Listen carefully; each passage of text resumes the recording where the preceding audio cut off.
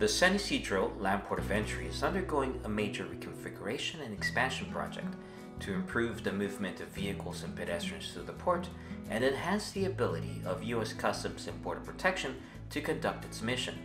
From mid-September till summer 2019, there will be a series of changes to southbound vehicle traffic related to the realignment of the Interstate 5 South Freeway in San Ysidro. Starting on Saturday, September 23rd at 3 a.m., all southbound lanes on the Interstates 5 and 805 South freeways south of the 905 freeway will be completely closed. The closure will last 57 hours until Monday, September 25th at noon, when all southbound traffic on the I-5 and I-805 freeways will reopen. Mexico-bound drivers can use the Otay Mesa Land Port of Entry, located approximately 9 miles east of San Ysidro.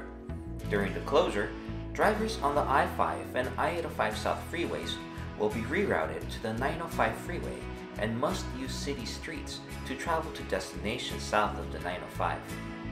Please note that vehicles may still travel north into the United States at San Ysidro and that pedestrians may cross in both directions as normal. After the weekend closure, construction work will continue through September 2019.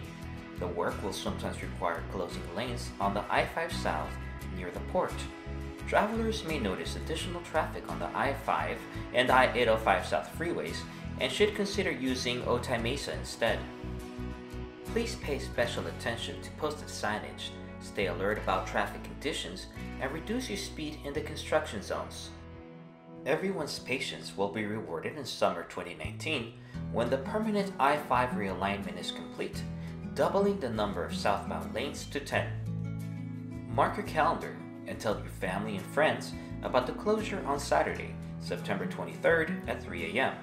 All southbound vehicle traffic to El Chaparral on Interstates 5 and 805 South, south of the 905 freeway, will be closed. This road closure will last 57 hours and all southbound traffic will resume on Monday, September 25th at noon. To learn more about the I-5 realignment project at the San Ysidro Land Port of Entry, please visit gsa.gov forward slash San Ysidro or follow us on Twitter at US underscore GSAR9.